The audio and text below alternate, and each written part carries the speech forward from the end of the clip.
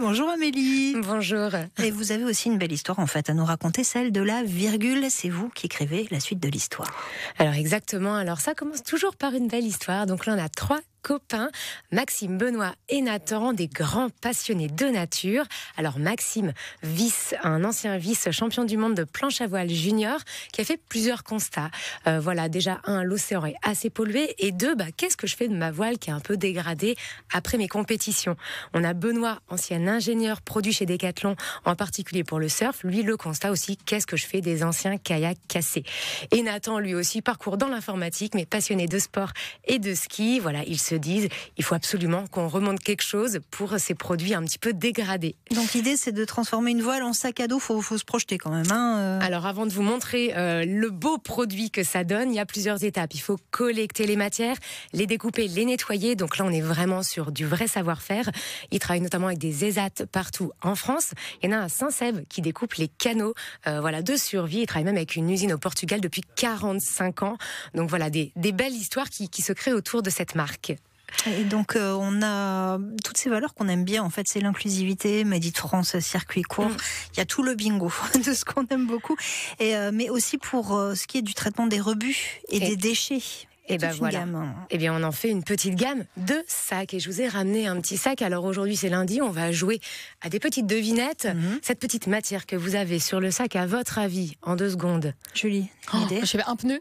Alors, on, aurait pu, on aurait pu. J'ai ramené ce sac à dos d'ailleurs de la boutique Wearslab euh, que je vous avais présenté la, la, dernière fois. Alors là, on est sur une toile de Zodiac ou des chutes de canaux de survie. On a le petit passant ici orange. Donc là, c'est un sac de 12 litres, hein, rectangulaire. Ce petit passant, ça, c'est de la corde d'escalade.